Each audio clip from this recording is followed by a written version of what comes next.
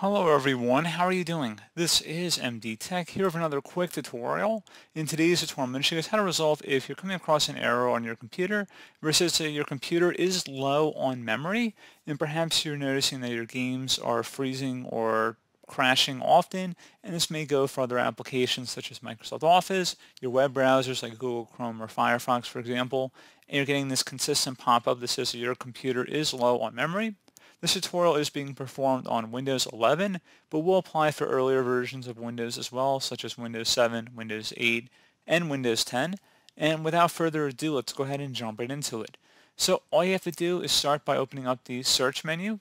So just go ahead and search into the search menu for Advanced System Settings. Best results should come back with View Advanced System Settings. Go ahead and open that up. You want to select the Advanced tab, which should automatically take you to here. And then underneath Performance, Visual Effects, Processor Scheduling, Memory Usage, and Virtual Memory, select the Settings button. Now you want to select the Advanced tab. And then underneath Virtual Memory, a paging file is an area on the hard disk that Windows uses as if it were RAM. Select the Change button. Uncheck where it says Automatically Manage Paging File Size for all drives. Select Custom Size and type the initial and maximum size in here. The same value this is recommended, so just go ahead and type in whatever your number may be. So again, make sure you type in exactly whatever it says recommended is. And once you know what that, you want to go ahead and select the Set button, and then select OK.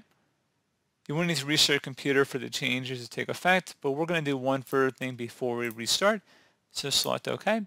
Now, if you're running Windows 11 Professional or Windows 10 Professional or higher, or any version of Windows 7, you can go run the Group Policy Editor.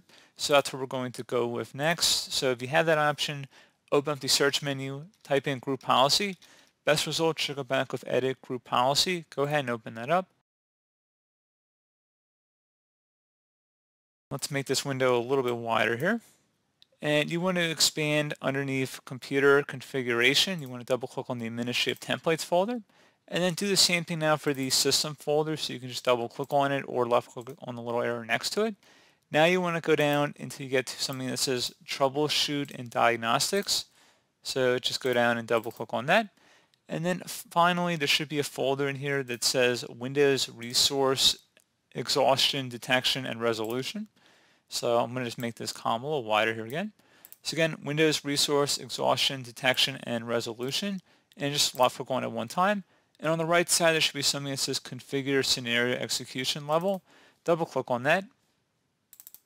And now we're going to go ahead and set this to disabled. So go ahead and just disable it. And then select Apply and OK. Now close out of here and restart your computer.